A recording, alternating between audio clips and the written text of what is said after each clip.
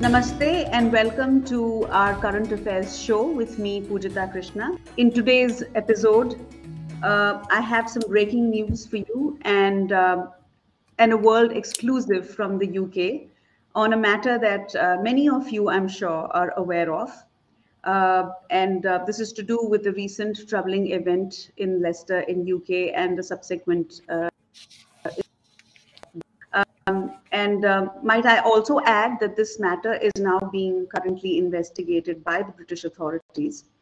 So to talk us through these um, this incident and uh, what happened subsequently, I have with me a very special guest, uh, Pandit Satish Sharma ji. Namaste.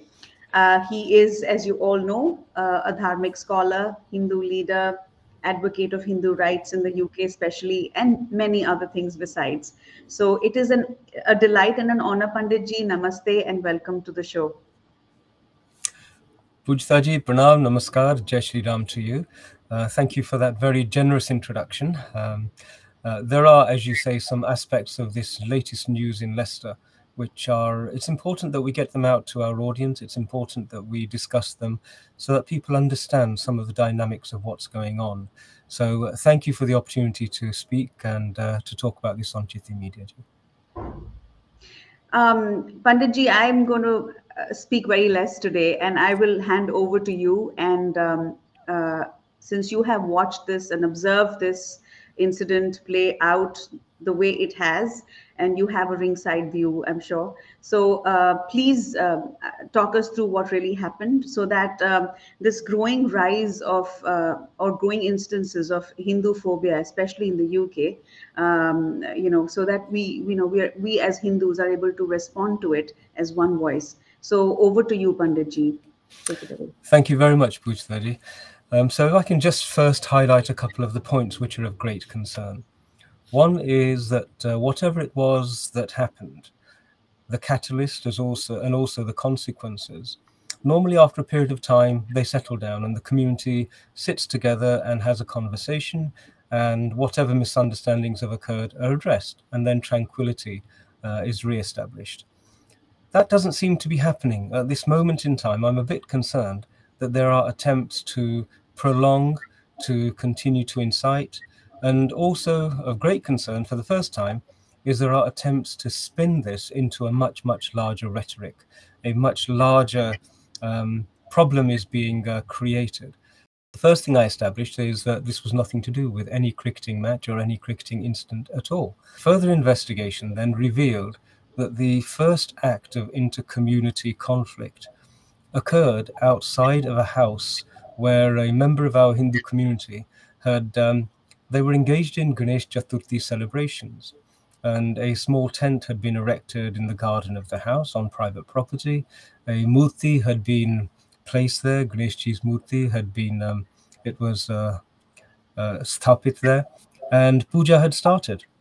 And the puja was done in the mornings and the evenings, and there was bhajan kirtan and celebrations. Um, the family has Maharashtrian origins, and we know that in Maharashtra, Ganesh Chaturthi is celebrated with a great deal of passion, light, and um, very, very active bhakti. And so this was being replicated there in this family's home. Near to those premises, there was a masjid, and it would appear that members of the congregation were unhappy at these proceedings. And as a consequence, a van arrived outside of this house and in the van there were five young men who stepped out, five young Muslim boys, and eggs were thrown at the tent. An attempt was made to perhaps uh, target the murti itself, but as a consequence of these eggs being thrown and the uh, the, the puja being attacked, a group of young men who were inside, who were actually participating in the bhajan kirtan, they rushed out to see what was going on. They identified the five assailants. The van immediately fled. Four of the assailants uh, fled as well when they saw a large number of young men emerging.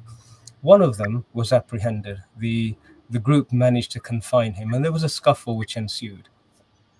I'm not going to go into any more detail, but the young man was sent to hospital to be checked up and everything else, and uh, uh, his injuries and so on are being established. But it's not been um, publicized by anybody as having been a serious assault or anything like that at this moment in time. The police were involved, community leaders engaged with both parties, and the young, the group of young Hindus were also interviewed, and they were asked the questions of what had happened and who had it been who engaged in the altercation. And it was quite an open and frank conversation. Evidence was exchanged, and the police asked for the community, the Hindu community, to actually become tranquil and please remain indoors for the next couple of days. We do not want this to escalate, and we'll do everything we can. So the police responded in the manner that uh, was appropriate. The Hindu community complied. Nothing actually Mhm. happened. Following day, there wasn't much of a, uh, noise. But on the evening afterwards, what then happened was a large number of Muslim young men came into the area. And you Mm. may have seen there are multiple videos. Um, and what actually happened was that property was attacked and individuals attacked. A young man was attacked with a knife. Um, fortunately, he didn't sustain any injuries. Um, his aunt, who was trying to intervene, um, she ha- had a, a blow to her face and she was hurt a little, but thankfully hasn't been particularly harmed. Um, doors were kicked in, doors of Hindu homes were kicked in. Um, any indication that a Hindu lives in a particular home, whether it was a dhwaj or whether it was a uh, an orange flag, as is associated with Sanatani traditions, a saffron flag, some of those were taken away, they were damaged and torn down. And I must say that at this moment, the response from the community has also been to remove all vestiges. Anything that would indicate that it's a Hindu house have now been removed from the front. So property was injured, doors were kicked in. The police again engaged with the community and reinforce the idea to our Sanatani community, the Hindu community, that they mustn't um, escalate the issue. So again, they remained indoors. And the police then deployed drones the following day to take images and capture images of all the perpetrators of the violence. And the following evening, equally, there were very large numbers, and uh, we have seen quite troubling videos where the police were then targeted with abuse and uh, physical violence. But even more drone footage was taken. On the third day, the announcement came that arrests were now being made, and some 23 arrests were announced. And I think it was the announcement of the arrest that suddenly um, dampened the whole issue back down again. How did this even play out as a Hindu Muslim, as in a you know pa- India Pakistan?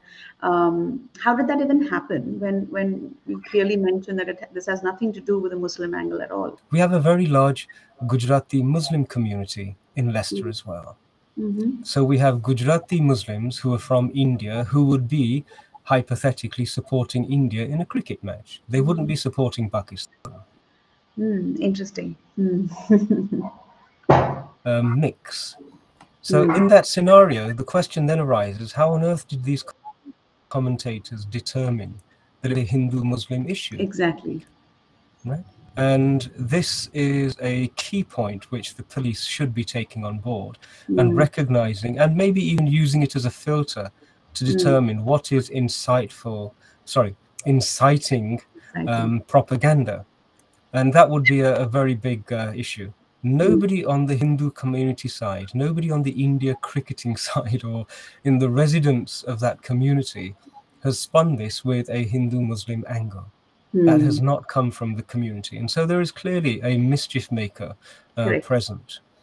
Now, the this mischief maker has access to a very well established, as we are now seeing the evidence for it, ecosystem. And this ecosystem seems to have actually kicked off even prior to any evidence having been gathered. Absolutely. We saw prominent Muslim Twitter handles immediately alleging that these were Hindutva thugs without any evidence whatsoever. We saw prominent anti India journalists also tweeting the same trope.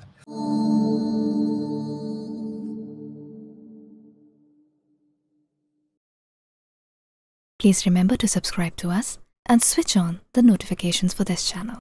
For our other social media links, more content, and to support our work, please visit citti.net. Dhanyavad. Namaskar.